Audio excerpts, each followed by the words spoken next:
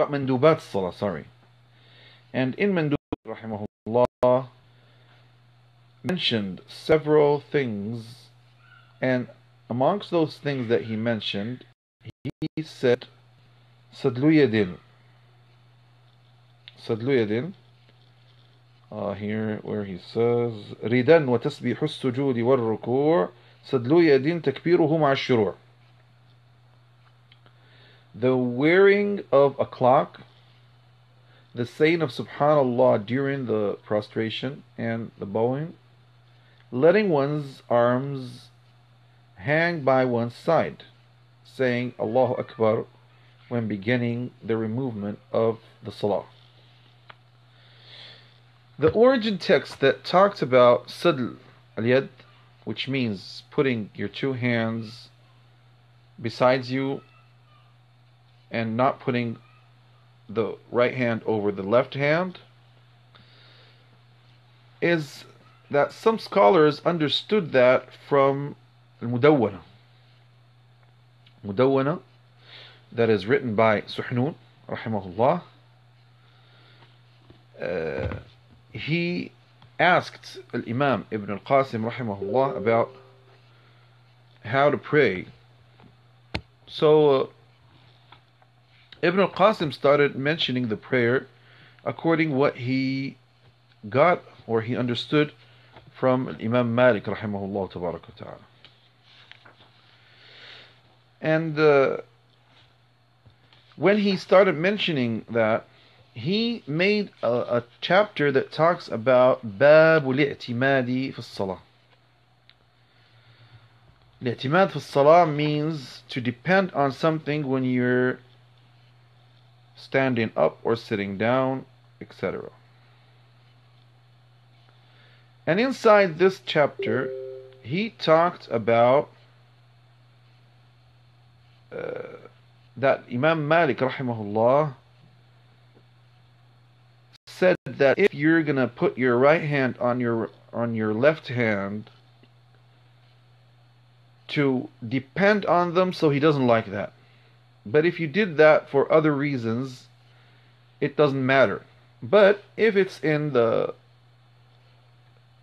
the, the extra prayers, the extra prayers, that means the nawafil. So in that case, he doesn't matter about that. It's not a big deal because normally or usually scholars differentiate between fara'id and sunan. They differentiate between obligatory prayers, obligatory prayers, and between the extra prayers that you're allowed to do them or not do them. Now, later on, later on, many scholars started supporting this opinion about sadl. Many others didn't agree about that. That Imam Malik rahimahullah used to put his right hand on his left hand and he he finds that that's sunnah. And the other kind of followers of Imam Malik are the scholars of hadith. These guys that are the friends of Imam Malik or the followers of his madhab and that they are scholars of hadith all of them or the majority of them said that it's sunnah to put your right hand on your left hand and that is the opinion of the majority of scholars. All the Hanbalis, the Shafi'is, the Hanafis and all others we don't know any of the of the Sahaba or Tabi'een or Atba' Tabi'een or Aimma that say that uh, Sadl al-Yadayn is preferred it's preferred than uh, okay sister just let me just let me uh, continue my opinion and then you can say whatever you want to say So, uh, to say that something is sunnah, you have to support that with a, a strong evidence. And I'm now trying to, uh, I'm trying to give you the this uh, this uh, branch of uh, of fiqh by its evidence and by who said every one of them or else it's up to you to do whatever you believe that is uh, sunnah so to say that it's sunnah that means the prophet ﷺ did it and that means his his big uh, companions did it too and that means the majority of scholars or Sahaba and Tabi'een did it. Where Imam Al-Hafidh ibn Abdul Barr Al-Andalusi rahimahullah says that we don't have any of the Salaf that it is narrated from them that they used to do sadl and we don't have any of them that we we we narrated that or it is narrated from them that they used to do sadl and we have another narration from them that it's that they say that qabd is sunnah except Sa'id ibn Musayyib and Abdullah ibn Zubayr. Except Sa'id ibn Musayyib and Abdullah ibn Zubayr these two uh, the chain to to them that they used to do sadl is an authentic chain. But all the others it's not authentic or it's it might be authentic but we have another chain that shows that they used to do qabd. So when we see the the the the big companions of Imam Malik and the big followers of his madhab, like the majority of the Iraqis, the Iraqis, the the majority of Egyptians except uh, Ibn al-Qasim, the majority of uh, Moroccans and Andalusians, Maghribians and Andalusians, Tunisian and all these the majority of them say that al-qabd is the sunnah. Al-Imam Ibn Abdul Barr rahimahullah in his commentary says that the most accepted opinion is that al-qabd is sunnah. Mm, and then the same thing of Abu Walid al-Baji rahimahullah, the same thing of many other big scholars. And that's why Khalil rahimahullah, when he mentioned al-qabd or, or sadl, he said, and why did Imam Malik, why did Imam Malik rahimahullah, why is the Maliki madhab, why does it say sadl? They say because maybe he means that you're not supposed to depend on your hands. When you do like that, you're just depending on them. And he says that you're not allowed to depend on anything. The other opinion is that he's afraid that some ignorant people will say that it's oblig obligatory obligatory that means it's per it's uh, it's you're supposed to do the qabd the other opinion says that if you do that following the sunnah, so there's no problem about that. All these are on the commentaries of Mukhtasar Khalil. Now, there are many scholars of the Malikis. I'm not talking about only the commentators, because there are commentators that commented on uh, Ibn Ashir, Murshid al-Mu'in, like Imam or Al-Qadi Muhammad al-Talib ibn al-Hajj al-Sulami, who passed in the year 1274 he was a, a great judge in in Marrakesh. Now can you hear me? Is there any voice? Can you hear me? Okay. Uh, Sheikh Muhammad al-Talib ibn al-Hajj rahimahullah in his commentary on al-Murshid al-Mu'in his hashiyah hashiyah on Mayab al-Saghir he supports the opinion that says that al-Qabd is the Sunnah. More than that, Al-Qadi Iyad in his beautiful book, Al-Ilam Qawad Islam, he mentions from the Sunnah of the Salah, Al-Qabd. He says that Al-Qabd is one of the Sunnahs that you are asked to do in your prayer. And even, what do they say? They say, where is the place where you put your right hand on your left hand? They say it's over the navel and under the chest. So these are great Imams. There are other Imams that started writing books about this. And their books were because they started calling to follow the Sunnah and to leave to leave what is only opinion that is not supported by Sunnah. Let us see now what do the ones the ones who support the opinion that Sadl is the Sunnah or it's Sunnah or some some started saying that both of them are Sunnah. Now uh, now uh, there is a narration narrated by Abu Humayd al-Sa'idi radiallahu anhu which he mentions how the Prophet sallallahu alaihi wasallam used to pray. It's a long hadith. What he says there, he says that uh, that uh, I'm the most knowledgeable one amongst you that knew how the Prophet sallallahu how did he used to pray? They told him, and they told him that were, there there were about ten companions of the Prophet like Abu Qatada radiallahu Abu Humayd Sa'di and others. They told him, well, how are you saying that? How are you saying that?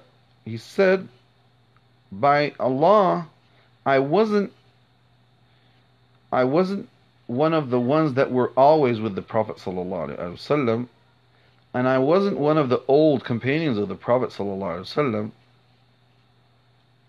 Yeah, they told him, actually, by Allah, you weren't one of the old companions, nor one of the ones that were always with the Prophet ﷺ. So how can you say? He said, yes. They told him, okay, just show us. How did he used to pray? He said, the Prophet, the Messenger of Allah ﷺ, used to raise up his hands until they're close to his to his shoulders when he starts praying. Then he says Allahu Akbar until every bone stop is put in its place. Then he starts reciting. Yeah. Uh, then he starts reciting then he says Allahu Akbar, so he raises up his hand until he puts them near his uh, shoulders again. Then he bows down and he puts his palms on his knees. Then he sits down, etc. It's a long hadith. Now, this hadith, I think that the first one who mentioned this hadith as an evidence of the sadl is either Sheikh al-Mahdi al-Wazzani, Muhammad al-Mahdi al-Wazzani in his big uh, encyclopedia, which is called Al-Mi'yar al-Jadid, and he has in that book, uh, uh it's a it's a huge book, 11 volumes, and he has inside it a book uh, uh, a book that is talking about Sadl. And another one is Sheikh Muhammad al-Khadr ibn Mayaba al-Shangiti, who wrote a book called إبرام النقد Qila min من al-Qabd. These two mentioned this hadith. This hadith is not an evidence. Totally is not an evidence. For the book of Al-Mahdi al-Wazzani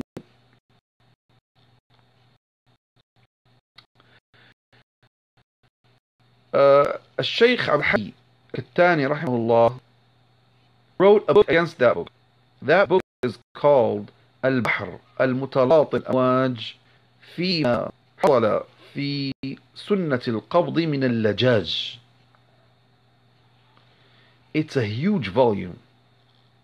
And he talked a lot inside this book and he mentioned a lots of evidence of that qabd is sunnah and for the book of Muhammad al-Khadr al-Shangiti الشيخ الحافظ أحمد ibn الصديق الغماري رحمه الله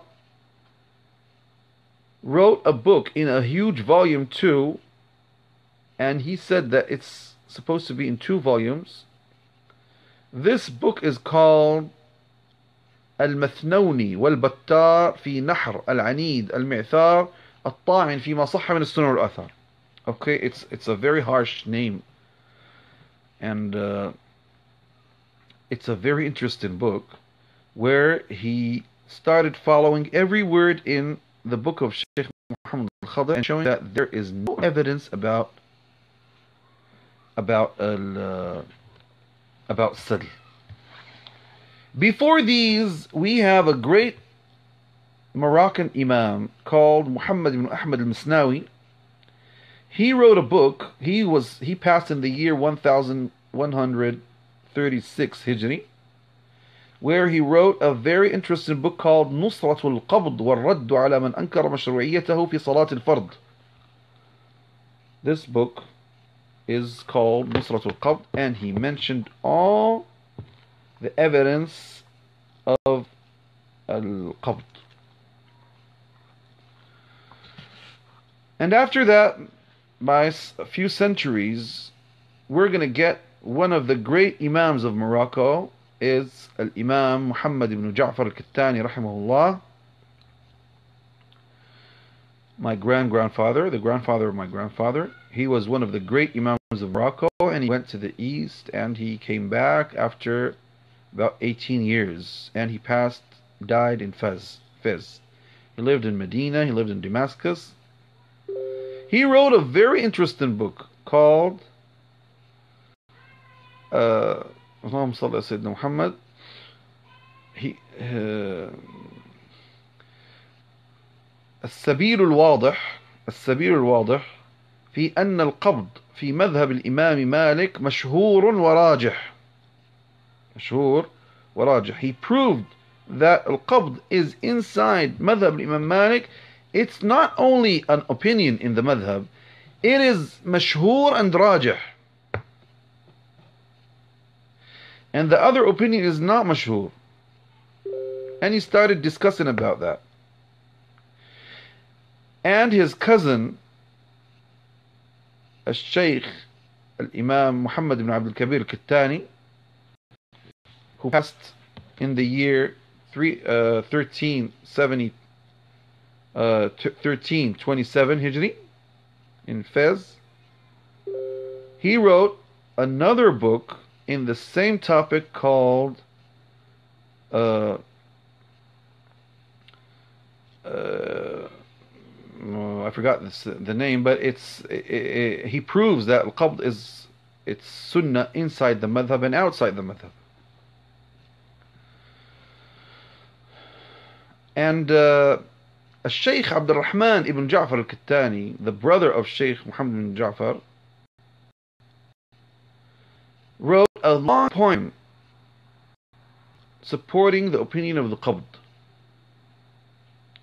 And there are many scholars of Shinqit, which is more Mauritania, والأسنة في الذب عن السنة للشيخ محمد بن أبي مدين الشنقيطي رحمه الله. And he depended a lot on the book of Sidi Muhammad ibn Ja'far al-Kittani. Another scholar of Tunisia, which was one of the great scholars of the Ottoman Empire in Istanbul, his name is Al-Allama Imam Muhammad al-Makki ibn Azuz.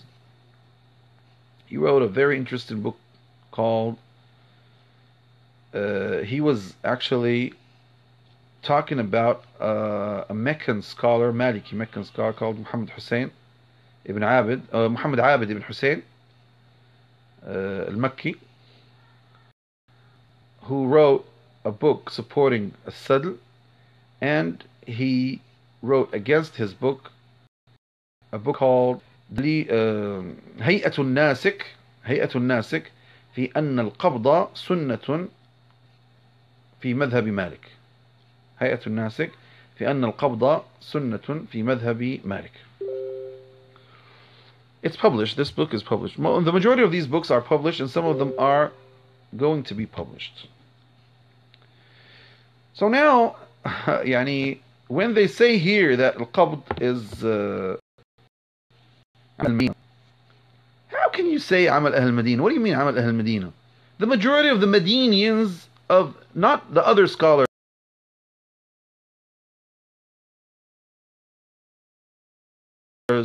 not the, the, the, the colleagues of Malik. No, is Malik. They used to say qabd is sunnah, not sadl. They used to do qabd. They didn't used to do sadl. How can you say Ahl Medina? That's not true. Totally, it's not true. And Al-Hafidh Ahmad ibn Siddiq says that there is no hadith talk, that talks about sadl. But there are about 18 hadith, 18 narrations that support al-qabd. Some of them are authentic in Bukhari and Muslim, and, and, and one of them is in, in Muwatta Imam Malik.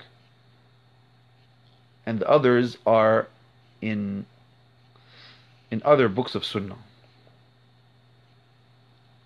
So, this is why many scholars, many great scholars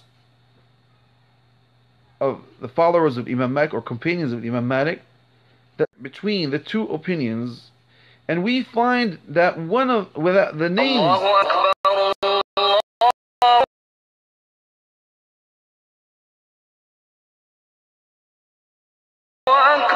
the names like Abu Bakr ibn Arabi, like Abu Walid ibn Rushd, who is a great uh, leader in Maliki Madhab, like Ibn Abd salam Tunisian, like Al-Qadi Iyad, like Ibn Juzay al-Kalbi, like Imam al-Qarafi. These are the great scholars who, these are the great, these are the pillars of the Maliki, uh, the Maliki school. Look, Al-Qadi Iyad says in Ikmal al Ikmal Ikmal al-Mu'lim, which is a commentary on Sahih Muslim, there are authentic narrations that the Prophet ﷺ used to do the qabd. And that he used to ask us to do the qabd too. Al-Masnawi, uh, Muhammad al-Masnawi rahimahullah, says in his book that I just mentioned for you right now, he says there are many things that support al-qabd, like that the evidence is strong, the evidence is strong, and that the majority of scholars said that the qabd is sunnah. And from these evidence, I'm going to mention for you four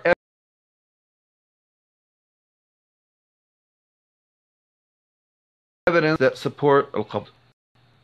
Actually, this means people don't talk about it anymore until I discovered that there are many people now supporting sadl again. You know, amongst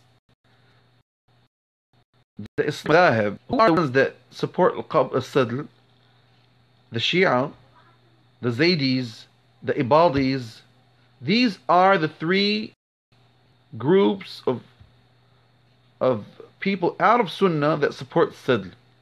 But inside the Sunni schools, the totally majority scholars talk about al-qabd. And there are lots of evidence about that.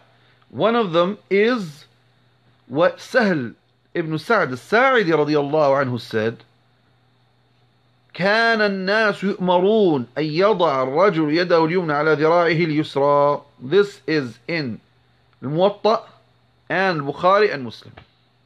People used to be ordered, not only the Prophet ﷺ did that, he used to order them to put the right hand on the left hand in the prayer. عبد الكريم بن أبي المخارق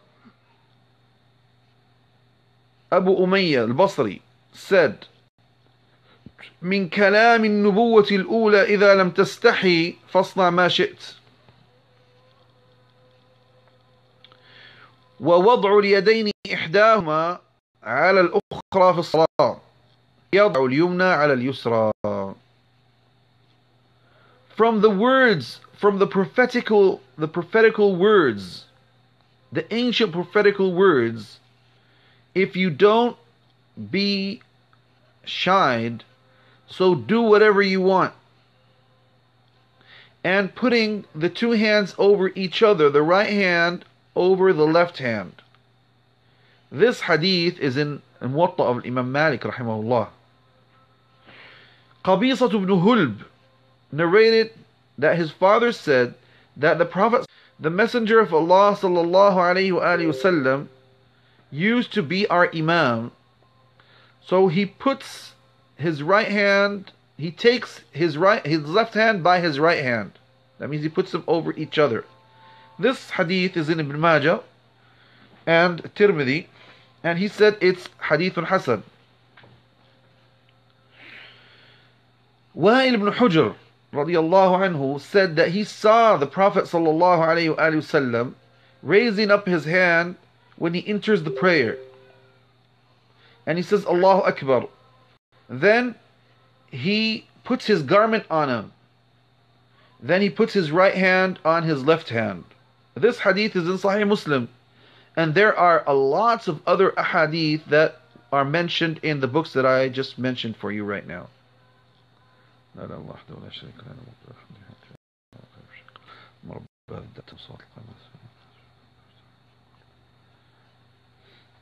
Now,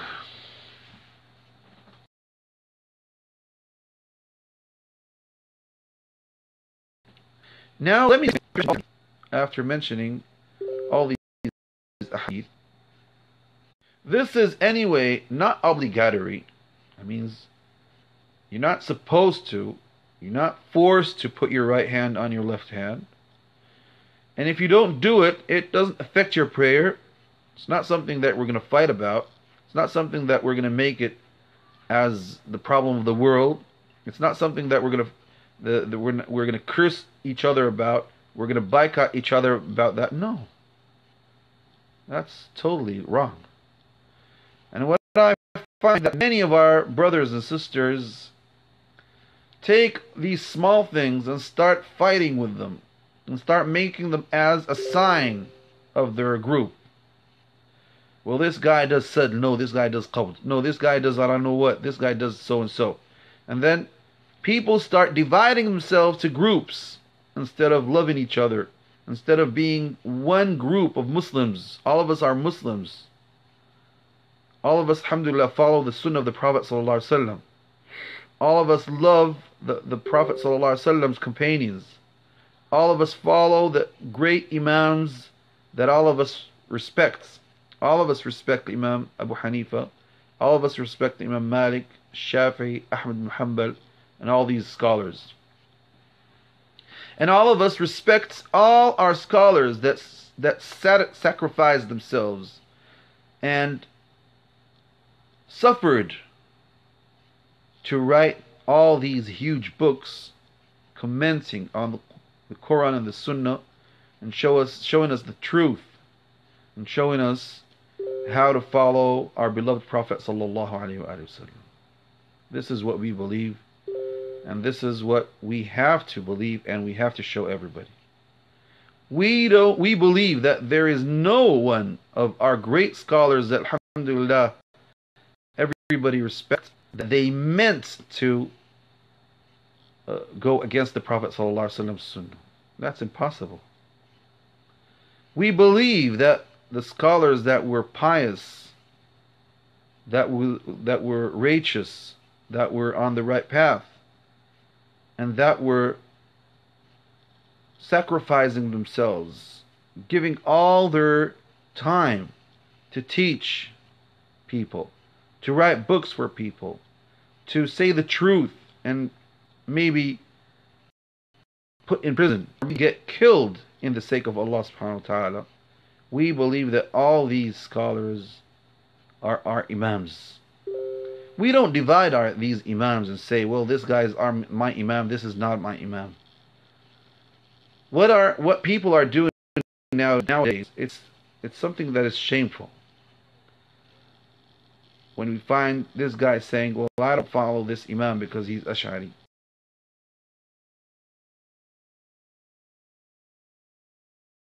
And I don't follow this imam because all these imams were trying their best to follow the Prophet like what Al-Busiri said in his Burda وكلهم من رسول الله ملتمس رشفا من البحر أو غرفا من الديم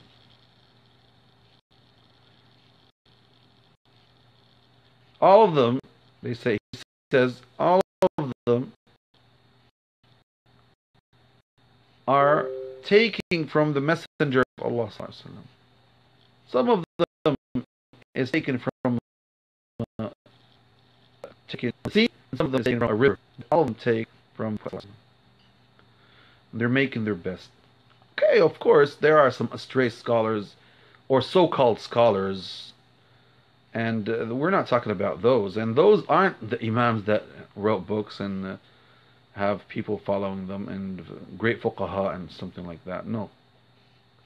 I just wanted to say that because I found that when you follow the internet, the Facebook, the uh, and you read the books and stuff like that, you find a huge battle between Muslims. Where actually we are asked to be one nation, not divide ourselves. وأن هذه أمتكم أمة واحدة وأنا ربكم تقوم. This is your one nation, and I'm your Lord. So fear me.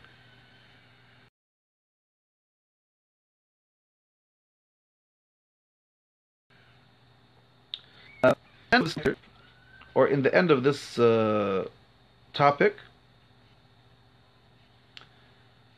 uh, this commentary of Sheikh Muhammad al-Amrawi, the Moroccan scholar that wrote Al-Mubin al-Murshid al-Mu'in, he mentioned a word of Imam Ibn Abdul Barr where he says, and what I say, asking Allah to help me, is that the differences between scholars in the tashahud and in adhan and in iqama and the numbers of saying Allahu Akbar in the funeral prayer and what you read and what you invoke in the funeral prayer and saying salam to get out of the prayer one or two or three or one or two and putting the right hand on the left hand or leaving your two hands down and doing qunuts or not doing qunuts all these are differences differences between something that is permissible. No one said that this is no one. The majority of scholars never said that this is forbidden and this is forced. You are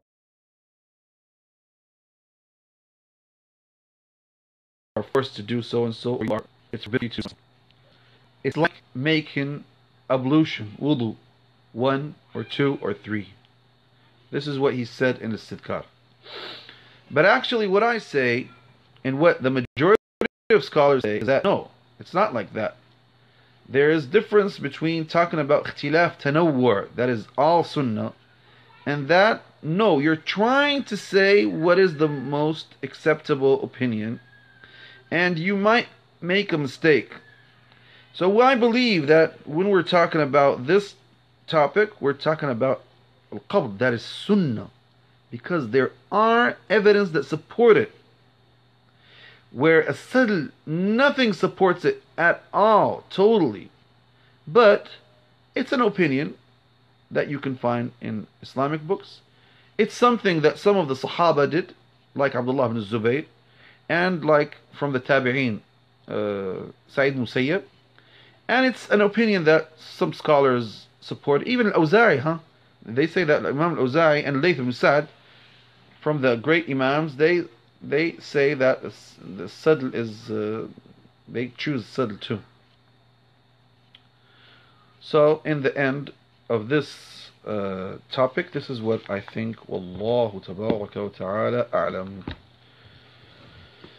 You see, so I just uh, mentioned all this for uh, my sister that asked me about it because I knew that there are some people who are supporting supporting this opinion um, uh, strongly.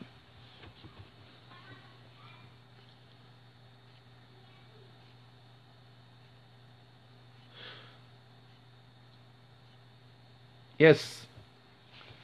Now, uh, there are, look, sister, let me tell you something.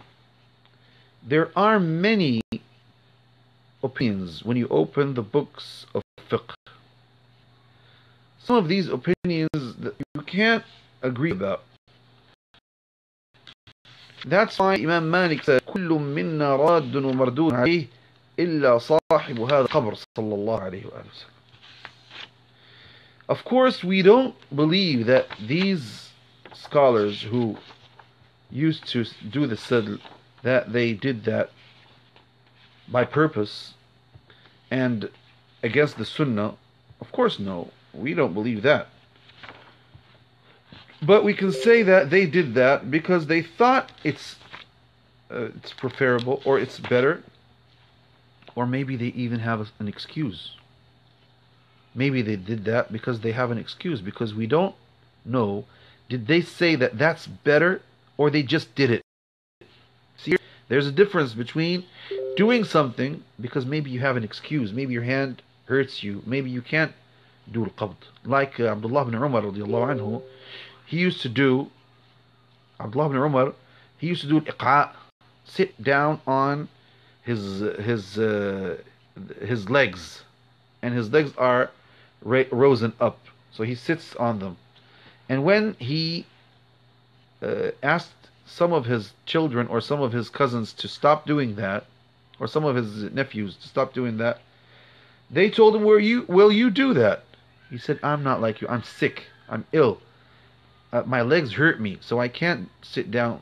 Uh, so actually, he's doing something, and who sees and say, "Well, this is a sunnah," because Abdullah ibn Umar did it Where Abdullah ibn Umar didn't do it as a sunnah, he did it because he is sick, he is ill.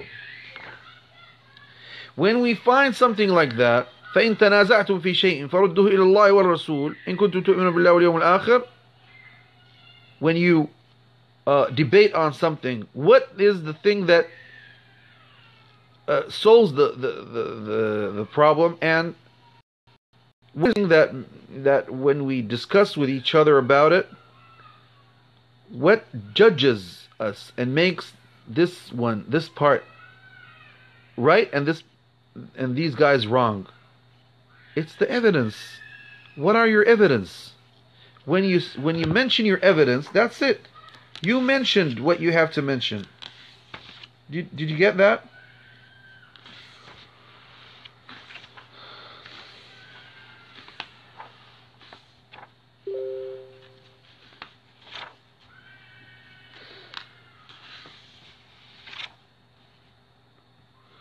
Tabi'een, they have it from the Sahaba, and the Sahaba, it's not the hadith, but it's amal. Well, actually, I told you, and I mentioned that the majority of people of Medina used to do qabd, not sadl.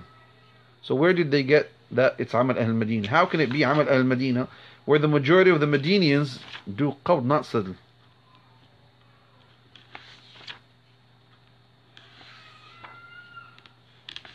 How can you mention that as sunnah where there is nothing that supports that as sunnah? Let me tell you something more than that. Mashhur al-madhab, it's that you only raise up your hands in the beginning, Allahu Akbar, to your shoulders. The hadith that they are mentioning... Allahu Akbar, Allahu Akbar, Ashhadu an la ilaha illallah, Ashhadu anna Muhammadan Rasulullah. حي على الصلاة حي على الفلاح. قد قامت الصلاة قد قامت الصلاة. الله أكبر الله أكبر. لا إله إلا الله. Yes. In this hadith that I just mentioned right now of uh, Abu Hamid Sa'idi, he mentions that the sunnah is to raise up your hands in three places in the prayer. Malikis on their mashhur they don't say that hadith. So how can you make a hadith as a proof in something and in the same thing in the same hadith you don't believe in it? This is how can you use the same evidence in something and leave the other thing that is inside the same hadith? You see? So in the Maliki madhab, the sadl is mashhur. Some say that is mashhur, some others say no, al-qabd is mashhur. And they support that.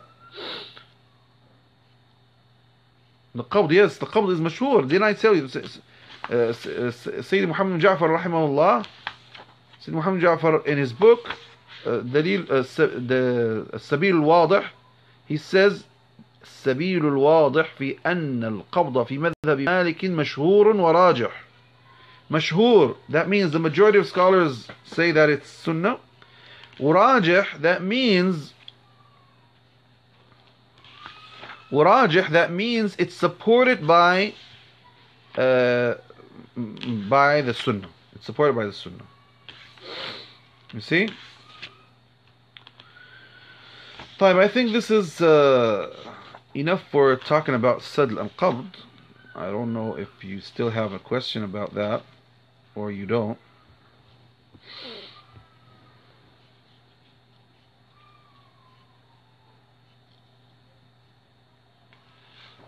Or we'll continue and go to some other.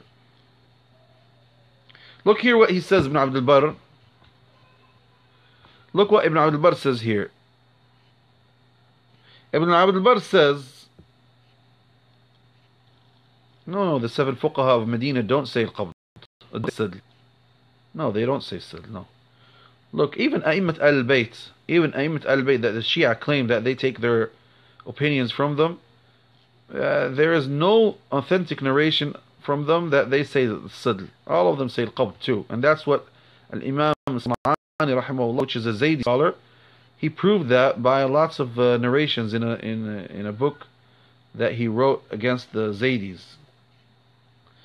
Look what here the Imam Abdul Barr says in um, in التمهيد in التمهيد قال رحمه الله لم تختلف الآثار عن النبي صلى الله عليه وسلم في هذا الباب there is no conflicts between the narrations that are referred to the Prophet صلى الله عليه وسلم in this chapter.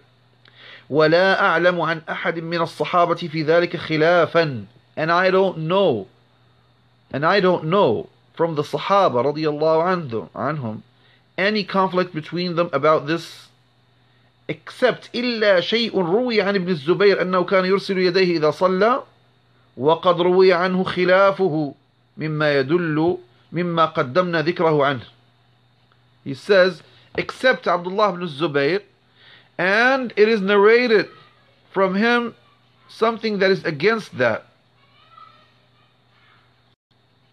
and it is what I mentioned before he said وذلك قوله رضي الله عنه وضع اليمين على الشمال من السنة putting the right hand on the left hand it's from the sunnah this is Ibn Zubayr وعلى هذا جمهور التابعين and this is what the majority of the tabi'in say وأكثر فقهاء المسلمين من أهل الرأي والأثر and the majority of scholars Muslim scholars from the people of opinion and the people who follow the athar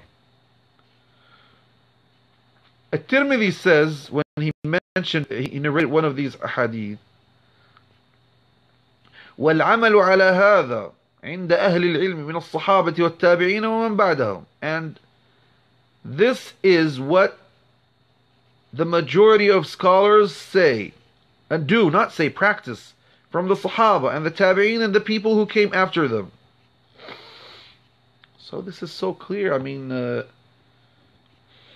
I mean, there's there is no evidence that supports any opinion that is against this opinion.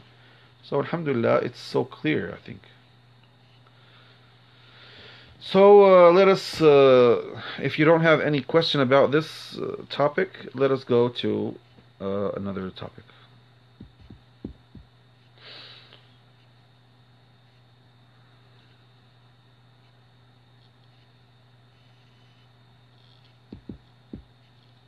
Is that enough for this?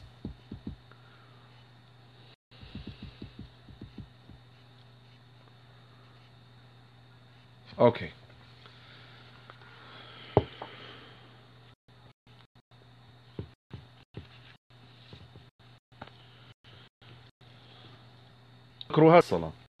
What are the things that are disliked in prayer? What are the things that are disliked in prayer? قال وكرهوا بسمة تعود the prayer. Uh, can you hear? Can you hear the voice now? Oh, there's no voice. Uh huh.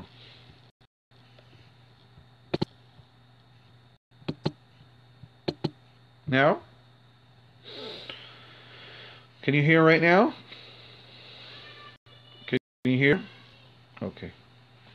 He says here that the scholars, the Maliki scholars, disliked uh, saying Bismillah ar-Rahman ar-Rahim in the beginning of reciting Surah Al-Fatiha in prayer. Saying, A'udhu Billah, I seek refuge in the Fard Salah and the prostrating on cloth. Why are why do Malikis dislike to say Billahi Minash Shaitan Rajim Bismillah ar-Rahman ar-Rahim and recite your surah? Because the Prophet ﷺ, according to Anas ibn Malik and Abu Bakr and Umar, used, and Uthman used to start their prayer by Alhamdulillah Rabbil Alameen. So, Imam Malik derived from that that you don't read Bismillah ar-Rahman ar-Rahim.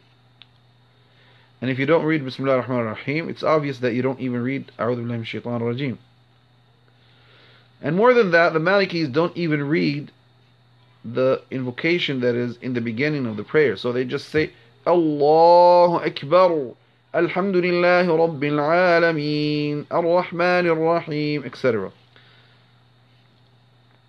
This is the mashhur of the madhab. This is the mashhur of the madhab. And they disliked prostrating on anything like carpets. He went to pray in the house of Anas ibn Malik and his mother. Anas said, I went to فعمدت إلى حصير لي قد اسود من طول ما لبس حصير is a kind of carpet that is made of branches or leaves or something like that from the trees. Uh, he prayed on those.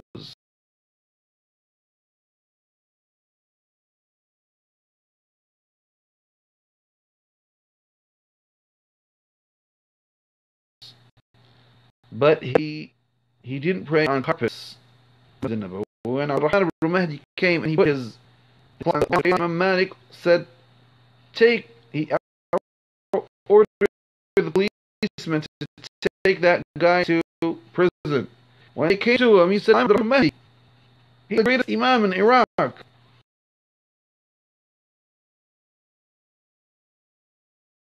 So, the Imam Malik, what did I do? Imam Malik said, You did something in our. So he started weeping and crying, and he said, I didn't mean to do that. I didn't mean to do that. So he forgave him. So what we do nowadays in our masajid, in our houses, you find even the even a carpet on a carpet. You have a carpet, and then they ask other carpets to pray on the carpets. Why? Why are you calling to pray on the carpets where actually you have a carpet? Well, they said the children here they might they might may, they might they might have uh, could have uh, done something. Allah, they could have done something, that's against the sunnah. Because ground is pure, unless you are true. And many laymen think, people think a lot of think a lot of things that are pure were actually, according to the Sharia, they're, eh, they're pure. Okay, he says the fold of the turban or part of the sleeve or carrying something in in it or one's mouth. Yeah, of course. Uh, when you pray on uh, the, the your turban, it's not supposed to be a huge turban. It's we're talking about only small turban, and and that covers your forehead. But when we're talking about a big turban that makes your nose be maybe uh, or makes your head actually makes a, a, a, a, something between you and and your and, and the ground when you're prostrating that might nullify your prayer so when the turban is big and huge that would nullify the prayer but we're talking about something that is only small a small turban by two two circles something like that look your hand you just put put it like that and, and put it all, all over the ground. So you're asked to put all your on the ground. Your hands, your forehead, your nose, you're supposed to put it on the ground. And when you pick something, you pick something inside your hand, your your sleeve, that means you're um, that means you're not you're not putting your hand on the ground because you're busy and putting something inside your mouth. That means you're busy. How are you going to recite? How are you going to read? How are you going to do a lot of things? So actually, that prevents you from doing a lot of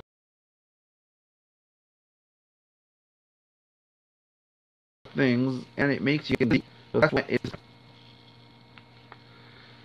Uh, reciting uh, during during the prostration or the bowing allowing the heart to think about anything which uh, humility which is against which is against humility towards Allah he translated khushu by humility well uh, to be humble between to be humble in uh, in the eyes of Allah this is one of the main ideas of prayer. So here we are asked to concentrate on the prayer. And when you do anything else, you're not constant, concentrating on the prayer and you're busy. And that's something that is for, uh, uh, disliked. Thinking of, uh, and reciting Quran in because we are asked to sujood أما الركوع فعظموا فيه الرب we are asked in our bowing down to praise Allah not to recite Quran the Prophet ﷺ said إني نهيت وأن أقرأ القرآن ساجدا أو راكعا I'm prevented from reciting Quran when I'm bowing down or I'm prostrating وأما السجود فادعوا الله فإن فقامن أن يستجاب لكم so we are asked in the sujood to to praise Allah subhanahu wa ta'ala. We are asked in the sujood to praise Allah subhanahu wa ta'ala because we are close to Allah subhanahu wa ta'ala. When you are close to Allah subhanahu wa ta'ala, it is more accepted that Allah will accept your invocation. وعبث والالتفات والدعاء أثناء sorry وعبث والالتفات في الدعاء أثناء أثناء قراءة كذا الركعة and absent-minded play uh, turning away from the Qibla and making dua during the recitation and likewise in the bowing playing being absent. Well, why are you praying then? When you're playing, your mind absent, that means you're against the prayer. And uh, and turning away, if you turn even your legs, if you turn your chest and your legs are still towards the Qibla, your prayer is accepted. It's not nullified, but you're doing something that is disliked. But if even your legs change from the Qibla, that means your prayer is nullified. It's not accepted anymore.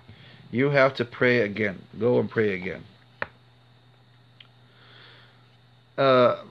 وعبث والالتفات والدعاء أثناء قراءة كذا الركعة uh, we said that the recitation and likewise in bowen تشبيك أو فرقعة الأصابع تخصر تغميض عين تابعي that means inter look interlooking or clacking the fingers placing one's hands on the hip when standing closing one's eyes closing one's eyes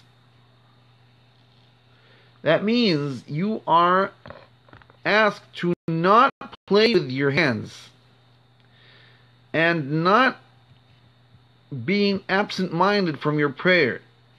So, all these acts are something that you have to avoid totally. And for putting your hands here like this, putting your hands like this, so uh, means in in uh, every hand, in, in the, the right hand in the right part of your of your belly, and the left hand in the left part of your belly. You're doing something like the Jews. You're praying like Jews praying. That's why it's disliked. That's called تخصر وضع اليد في الخاصرة الخاصرة is uh, okay تشبيك فرق تخصر تغميض it's placing one's hands on the hip when standing so you are asked to not put your two hands in your hip when you're praying closing one's eyes yeah because you're just when you close your eyes when you're praying it's like you're pretending that you're you're more humble to your lord where actually you're just playing or it's kind of imitating the Jews.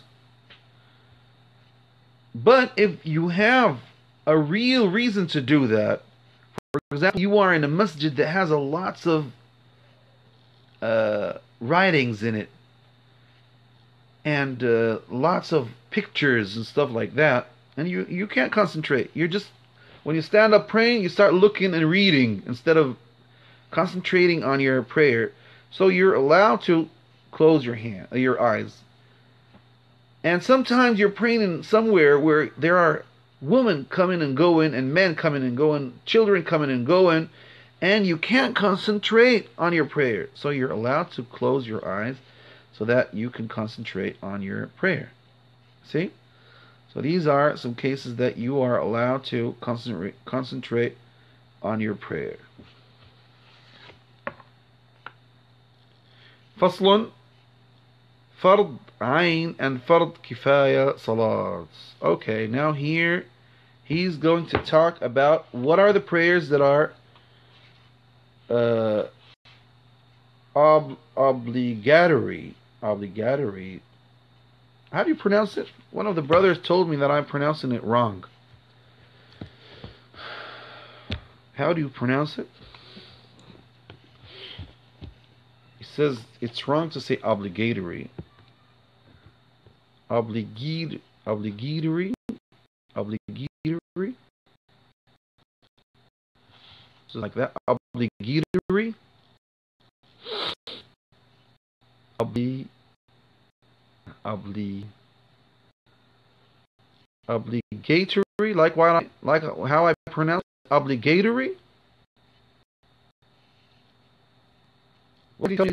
Some people pronounce it like you pronounce it but I'm still uh, yani there's a, a, another way to pronounce it better than that way. Anyway, obligatory, obligatory. Anyway, look, here he's going to mention and others that are not obligatory. Other prayers that are uh, fard kifaya, and Fardain. There are two ways to pronounce it. Uh huh, maybe. What are these uh, prayers that some of them are Fardain, others are Fard Kifaya? Let us see these prayers. You see, we nearly finished 10 lectures and we're still in less than the half of the book. And because I know what I'm teaching, I knew that it's impossible to finish the whole poem in in less than that. So anyway, we're we're learning with each other, inshallah, and we ask Allah that we benefit from these lectures. Okay.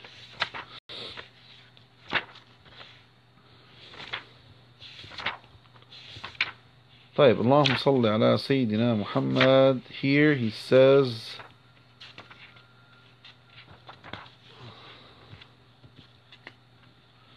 تفكر القلب عنوان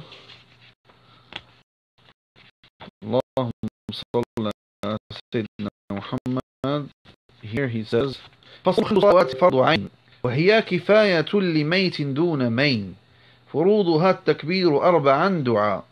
ونية سلام سر تبعا وكالصلاة الغسل دفن وكفن وتر كسوف عيد استسقى سنن فجر رغيبة وتقضى للزوال والفرض يقضى أبدا وبالتوال نديب نفل مطلقا وأكد وأكدت تحية ضحى تراويح تلت وقبل وتر مثل ظهر وعصر وبعد مغرب وبعد الظهر. These are kinds of prayers. Here he says, yeah, section. And the five prayers are fard, obligatory, and the salah over the de dead person is uh, com com communal communal responsibility communal responsibility without doubts Five prayers because Allah subhanahu wa ta'ala made them obligatory on us, and the Prophet ﷺ says that uh, Arkan Islam Khamsa,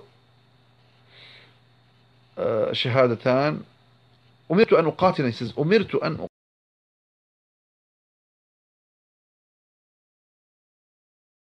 أقاتل الناس حتى يشهدوا أن لا إله إلا الله told Dimam bin Thalab when he asked him, uh, what are the things that are I'm supposed to do? He says five prayers in the night and the morning. He said, uh, if I don't do anything more extra than that, do I have any blame on me? He says, no, you don't have any blame on you. And he went on so happy asking Allah's mercy for the Prophet ﷺ, and he says, I won't do anything more than this nor less than that. So these are something that are all scholars agree that there are five prayers no more that are obligatory. And it is fard kifaya, which they call here fard kifaya, communal responsibility for the funeral, funeral prayer. Funeral prayer, that means Salatul Janaza. If some do it, that's it. That's enough. Not everybody has to go do it. Not everybody has to. Uh, not everybody has to uh, pray on the funeral prayer. If there are others that are going to take care of the the dead guy.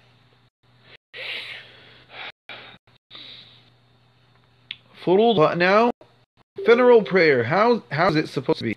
He says furuduha. The obligatory things about funeral prayer is التكبير أربعا دعاء ونية سلام سر تبعا. Its fard obligations are the takbir times, the dua the intention and saying salam silently. These are furuduha at-takbir. That means these are the four things that are pillars of salat al-janazah according to our friends. So that's how you pray janazah, four takbirs, and between every takbir you just invoke according to the Malikis. And others say, no, you read no sound, no sound. Can you hear me? No sound, no sound. Can you hear me? Okay.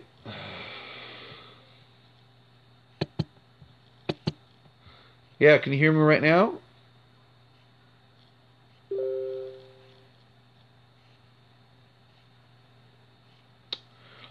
Is everything clear? Can you hear me? Can you hear me?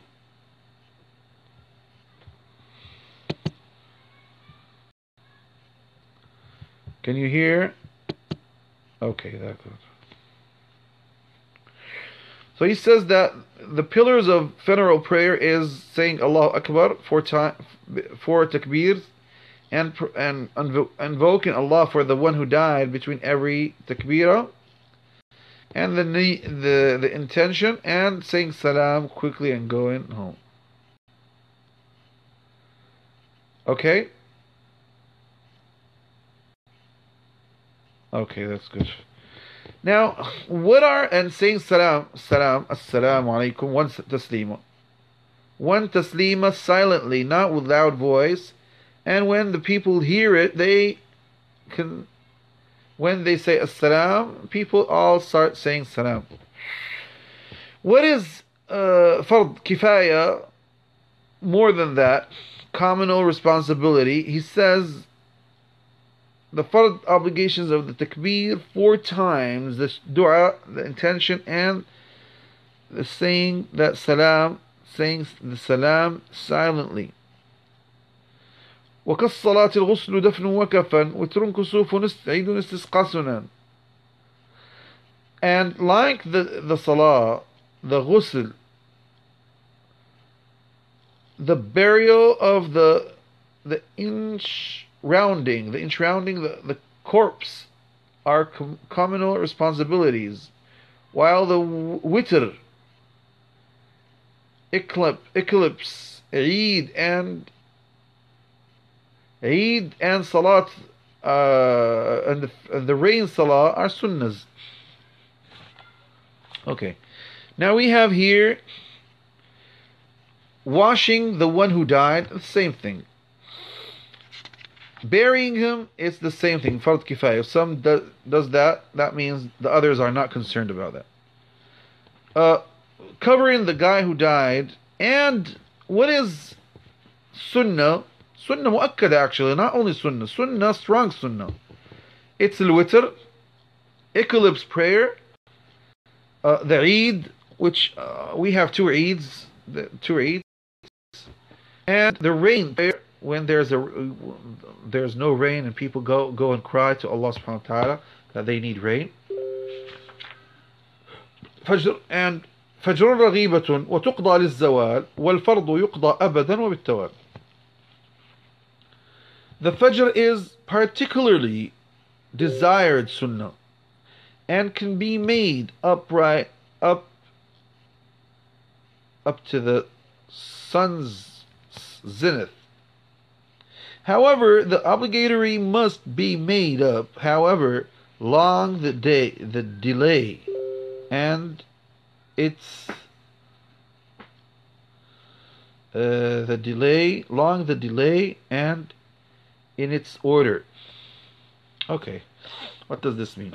Al-Fajr is considered as what they call Raghiba. Raghiba is less than Sunnah Mu'akkada and higher than Mandub. They say only uh, Fajr, the two rak'ahs before the Fajr are considered like that. And if you don't pray it in its time, you are allowed to pray it until the noon. After that, you can't pray it anymore. And you pray that as if you prayed it in its time, but it's not. But for the faridah, obligatory prayers, you have to pray them whenever you remember them. So it's it's always it's it never drops from you, from your responsibility. uh, ندب نفل مطلقا وأكدت تحية ضحى تراويح ثلاث It is recommended to do the nafila at all times. Yeah, as more as long as more as you do nawafil, you become close to Allah subhanahu wa ta'ala. Although particular importance in attached to salah of greeting the made morning the made wait a second the mid morning sorry the mid morning salah and the tarawih. Mid morning salah look there are recommended prayers are whenever you just pray for Allah just whatever you pray and there are strong recommended prayers like Tahiyat al-Masjid. When you enter the masjid, never sit down unless you, you pray to, until you pray to rak'ahs. Salatul Duha. Allah subhanahu wa ta'ala says that it is like giving 360 charities. Taraweeh. Uh, no, sorry, sorry. فجر رغيبة تقدر وكذا تحية ضحى يعني الضحى التراويح it's the prayers after after the Isha until the Fajr so it's called Taraweeh and it's something that you have to take care of uh, the recommended the it's uh, commended it's recommended to to the nafila at all times okay we read that وقبل وتر ظهر وقبل وتر مثل ظهر عصري وبعد مغرب وبعد ظهري these are called السنن النواف الرواتب sunnahs that are after or before every prayer like what nafila salats are prefer, performed before the witr before dhuhr and before dhuhr and asr and after maghrib and after Dhuhr. It is permissible to pray two or four rak'ahs before Dhuhr and two or four rak'ahs after Dhuhr. And two rak'ahs before Isha and two rak'ahs after Maghrib.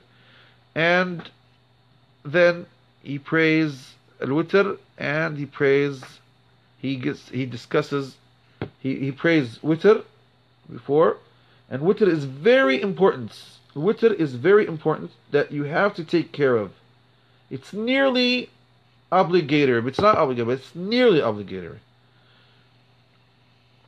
And you are asked to pray before it two rak'ahs after Isha.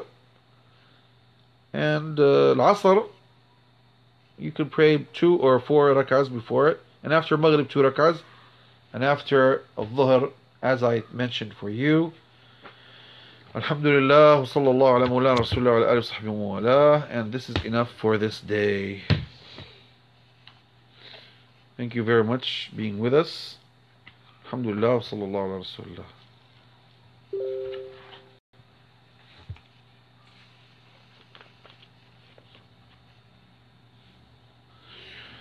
Okay, see you later inshallah Next, uh, in the beginning of the week, bihamdulillah ta'ala.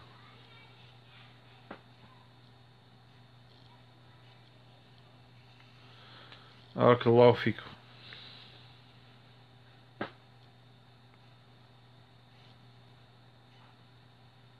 وعليكم السلام ورحمة الله وبركاته